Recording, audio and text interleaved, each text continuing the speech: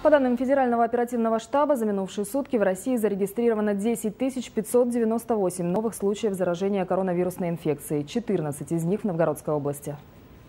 В Новгородской области с начала пандемии 584 пробы на COVID-19 дали положительный результат, а всего было проведено около 20 тысяч исследований на наличие инфекции. На сегодняшний день в стационарах лечатся от коронавируса 139 пациентов, еще 1084 человека находятся на самоизоляции. Полностью здоровы 158 переболевших. Они уже выписаны, это значит, что два их теста на коронавирус дали отрицательный результат. С начала распространения инфекции 7 человек с подтвержденным диагнозом COVID-19 Новгород Новгородской области скончались. Шестеро умерли от осложнений коронавируса, один от сопутствующих заболеваний.